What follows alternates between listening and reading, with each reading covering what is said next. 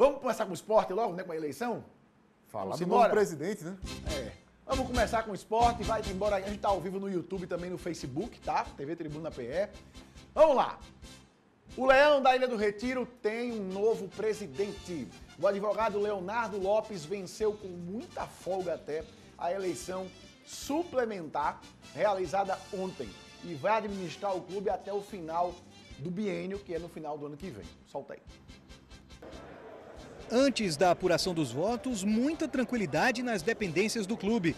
Até o mascote, já conhecido da torcida, o cachorrinho Colher de Pau, não poderia ficar de fora. Depois da votação encerrada, começou o balé das 18 urnas que estavam em pontos diferentes, com destino ao salão de festas, onde todas ficaram enfileiradas. O resultado de cada uma delas era anunciado pelo presidente da comissão eleitoral. A, a urna 5, votos apurados 116. A chapa 1 teve 20 votos. A chapa 2, 93 votos. Na expectativa, os dois candidatos à presidência do esporte. Na chapa 1, José Valadares. E na 2, Leonardo Lopes. E depois de mais ou menos uma hora e vinte de apuração, antes mesmo de todas as urnas serem contadas, ainda restando quatro, o resultado.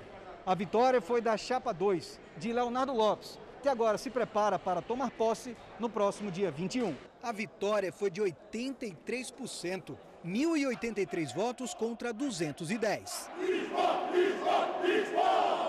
Eu acho que a primeira atitude que a gente vai tomar é deixar de ser essa camisa amarela, né, da esporte na raça, e passar essa camisa a ser essa camisa aqui, que é a camisa do esporte, para mostrar que agora já não tem mais lado.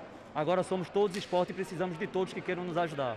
José Valadares, derrotado nas urnas, saiu antes mesmo do fim da apuração, mas mesmo assim se mostrou disposto a ajudar no que for preciso.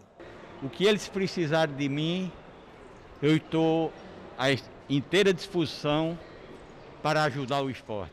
Nelo Campos, que teve por duas vezes a candidatura impugnada e por isso o Leonardo Lopes teve que assumir, vai ser o vice-presidente de futebol. Vamos, junto com o nosso projeto, que ele é feito de curto, médio e longo prazo. Ninguém vai mudar da noite para o dia, não adianta, não existe milagre.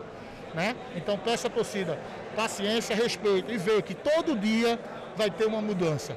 Tá? Espero principalmente depois do centésimo dia deixar muito claro as mudanças que irão acontecer na parte administrativa, financeira, na parte é, de, de, de patrimônio e de tudo. E o futebol é uma coisa mais urgente. Eu espero a gente já ver mudança segunda-feira, se Deus quiser. Fábio Mendes deu o que era previsto, não tem muita surpresa. Isso. Não sei se uma surpresa mais de 80% de diferença, mas acho que não. Não, não. Era o que a gente já sentia quando entrava nas redes sociais, é, no ambiente da sede ontem. O Jetson já passava a, a, meio que uma boca de urna que tinha sido feita com esses números, que não fugiu muito disso. Né? E importante é que isso se resolveu.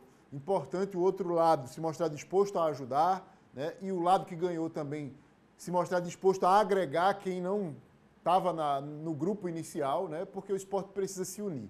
Só unido vai resolver todas essas broncas que não são poucas. Muitas dívidas, elenco, comissão técnica insatisfeitos com, com as indefinições, né? time precisando primeiro organizar financeiramente para poder se organizar tecnicamente, contratar, dispensar, etc.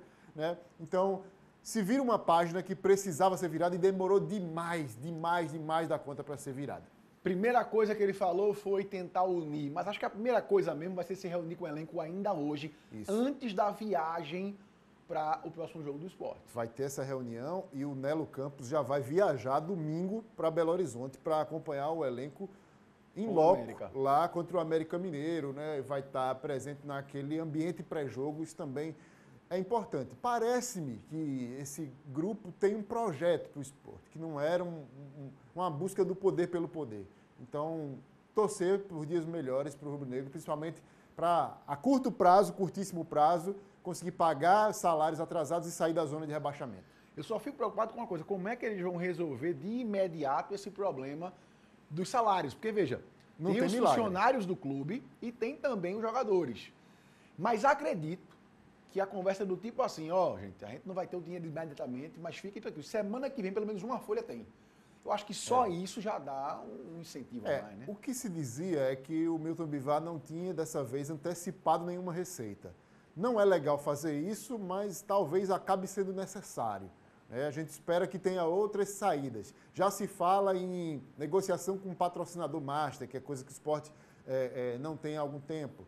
Também é- seria, viria a calhar realmente para sanar alguns problemas financeiros do esporte. Duas folhas de pagamento do esporte não é pouca coisa, não. A folha de pagamento do esporte é, sei lá o quê, 2 milhões de reais. A folha gira em torno desses 2 Pois é. milhões e 200, salvo engano.